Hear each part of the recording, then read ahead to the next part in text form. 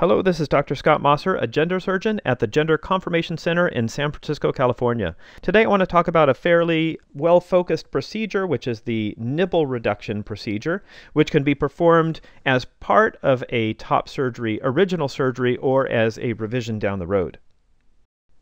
It should be noted that a nipple reduction is virtually never necessary as part of a double incision procedure or after that procedure because the double incision procedure itself reduces the projection of the nipple as part of the nipple grafting process.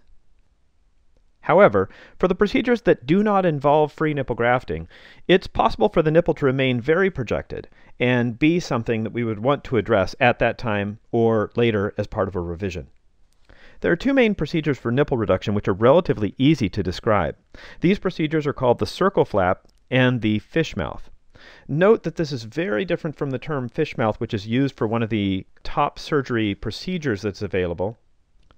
But because of the way the incision is designed, it has the same name.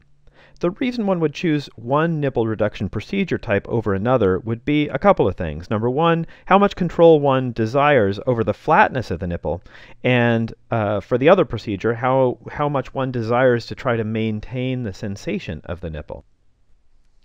The circle flap will maintain a very reliable degree of flatness and reduction in projection, while the fish mouth procedure will usually maintain a bit more sensation to the actual nipple itself. The fish mouth can also be used to maintain more projection if the patient wishes to have nipples that still project to some degree.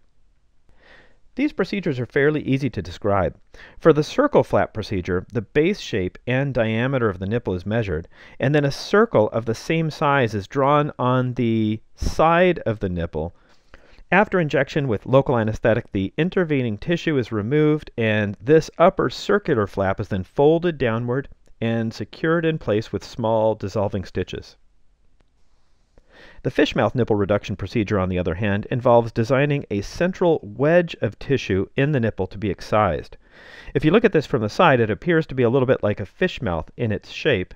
This tissue is then anesthetized so there's no sensation, and this wedge of tissue is removed, and then simply the skin edges are sutured together, uh, so you can see this result might have a bit more projection than with the circle flap technique. That's it for this very short video. Hopefully it clarifies a few things about the very simple and straightforward nipple reduction procedure. For a bit more information on this or any other aspect, gender, chest, or body surgery, please click on this link, or certainly you can reach out to us for a consultation to learn more directly from us. Have a great day.